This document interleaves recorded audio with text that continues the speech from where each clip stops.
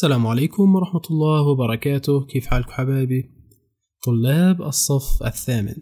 اليوم نأخذ درس ثورة المستعمرات الأمريكية استقلالها. كما شاء الله درس سهل وبسيط. يلا نفس اهدوا. خمس دقائق بنكون مجهزينه. يلا فكروا معي وامشوا معي بس. شوفوها كيف بدها يصير. أنا ما بقول السكان الأصليين لقارة أمريكا الشمالية بقول الهنود الحمر.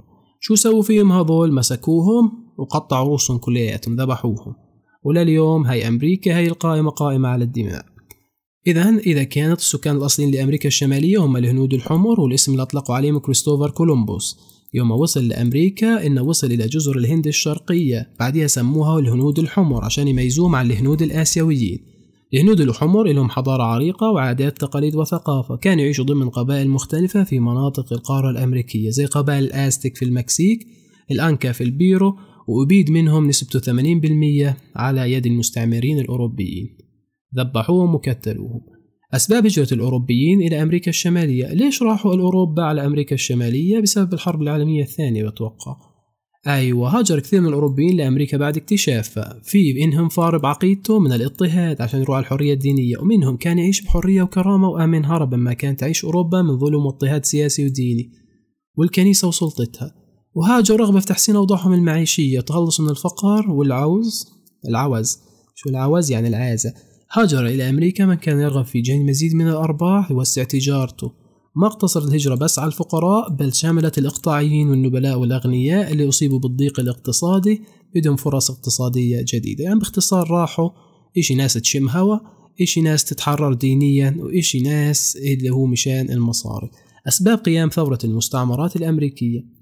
يلا صار في عنا مستعمرات أمريكية وصل بين بريطانيا وسكان المستعمرات الأمريكية لمرحلة اللا عودة كان بيتعرضوا لسكان المستعمرات ظلم واقع عليهم من مين؟ من بريطانيا وضرائب بيدفعوها لبريطانيا اللي هم صار على السكان صارت حرب السنين السبع بين بريطانيا وفرنسا صارت بينهم وساعد فيها سكان المستعمرات بريطانيا ضد فرنسا قابلوا فيها بلاء حسن فاق حتى الجنود البريطانيين وضباطهم شو صار في ثورة المستعمرات الأمريكية؟ ثار سكان المستعمرات الأمريكية في معظم الولايات بقيادة مين؟ جورج واشنطن. اللي قاد جيوش المتطوعين مشان يدافعوا عن المستعمرات الأمريكية ضد الجيوش البريطانية اللي ما قبلت باستقلال المستعمرات. وراحت للما نهاية في قتال سكانها يعني بريطانيا بتضل ماسكة أمريكا.